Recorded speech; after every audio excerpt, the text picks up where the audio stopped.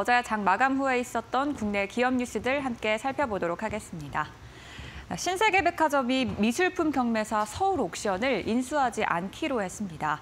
어제 신세계는 서울 옥션 지분 인수와 관련해 검토한 바는 있으나 진행하지 않는 것으로 최종 결정했다라고 공시했습니다. 이와 관련해 오랜 시간 다양한 부분에서의 논의를 진행했으나 이견들을 조율하는 데 어려움이 있었다라고 설명했는데요. 신세계는 그동안 미술품의 전시나 판매 등 이 미술 관련 사업에 적극적으로 나서왔습니다.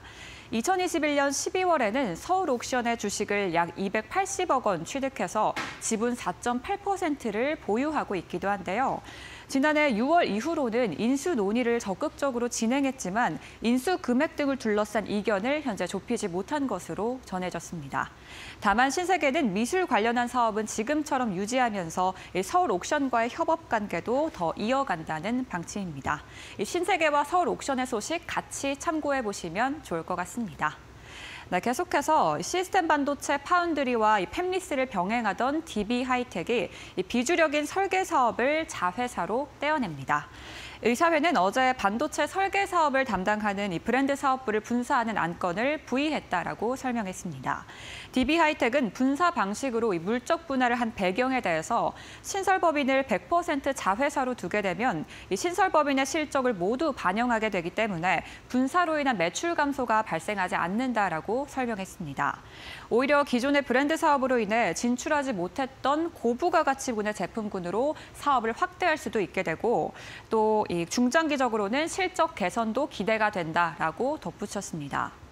또 신설법인의 경우에는 DB 하이텍을 모회사로 둠으로써 안정적인 파운드리 공급망을 확보하는 등 시너지도 높일 수 있기 때문에 진입 장벽이 높은 팹리스 시장에 안착하는 데도 도움이 될 것이다라고 설명했습니다.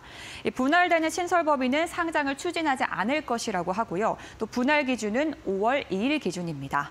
DB 하이텍의 팹리스 분할 소식도 같이 시장에서 체크해 보시면 좋을 것 같습니다. 네, 계속해서 메디톡스입니다. 메디톡스가 지난해 실적을 발표했는데요. 매출을 2천억 원 가까이 기록하면서 전년 대비 6%가 증가했고요. 특히 영업이익이 많이 늘었습니다. 영업이익이 460억 원대로 전년과 비교하면 35%가 성장했습니다. 메디톡스는 보툴리눔 톡신과 필러 등 주력 사업의 높은 성장세가 실적을 견인했다라고 설명했는데요. 보툴리눔 톡신의 매출은 해외에서는 99%가, 국내에서는 26%가 성장을 했습니다. 또 필러 분야 역시도 해외에서는 30% 가까이, 또 국내에서는 24%가 늘었는데요.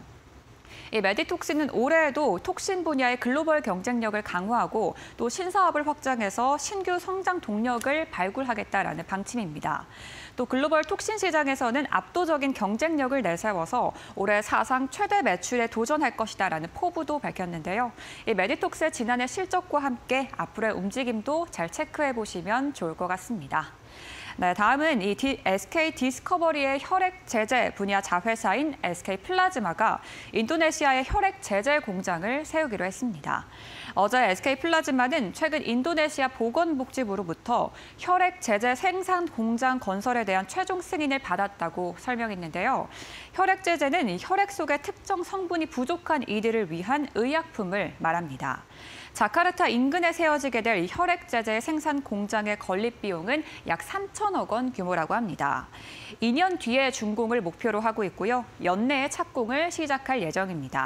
완공 시에는 현지 기업인 인피온을 통해서 생산된 제품을 인도네시아에 독전 판매하고요. 또 동남아 국가의 수출도 타진한다고 합니다.